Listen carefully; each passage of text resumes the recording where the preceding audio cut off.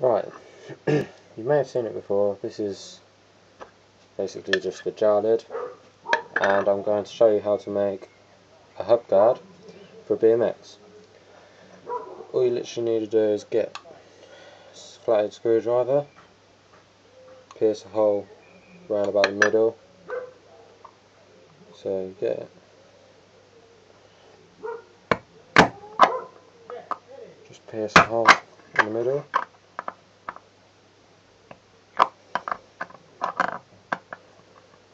So I'll show you what I'm doing.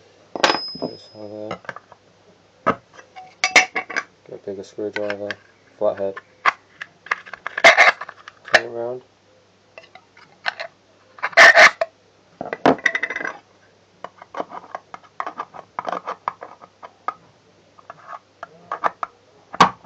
Make it a bit bigger because the hole ain't big enough for my axle on the back.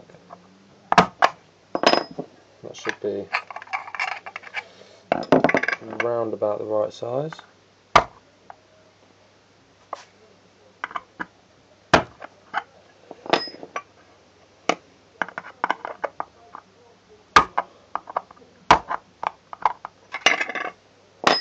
Oh, this one's actually for my front, sorry.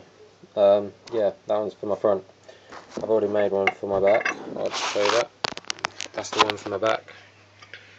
Yeah, that should be the right size for my front but what what you should do just measure it out. Like slide it on this way screw it on.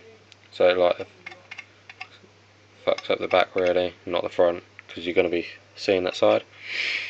Um, yeah then once it's gone on that way and it's the right size then you just put it on that way and use it as a hub guard. It works really well. Um, had no problems with it before but I made one a video before and it wasn't um, I didn't talk you through it very well so I made another one.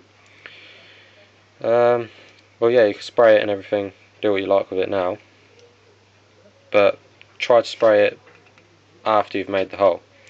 Otherwise you'd find out that you've sprayed it gone to make the hole and it'll chip all around here. So yeah that's the homemade hub guard Hope you enjoy.